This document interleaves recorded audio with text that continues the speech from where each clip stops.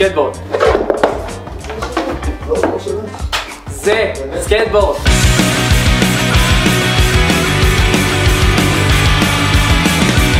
אה?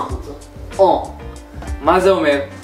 שאתה גולש, ואין לך edge ים, כאילו אתה לא נתקע, אתה עושה buttery, מה שאתה רוצה, כופף את הקרש, קופץ, מסתובב, ואין, לא נתקע.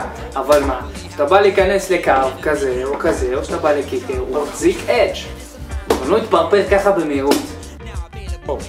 עיצוב הקרש הוא מחווה של רום לסקייטר האגדי כריסטיאן הוסוי משנות ה-80. ה shape הזה בעצם אה, מוריד מהמשקל של ה nose וה tail, ובעצם נותן לקרש להסתובב הרבה יותר בקלות.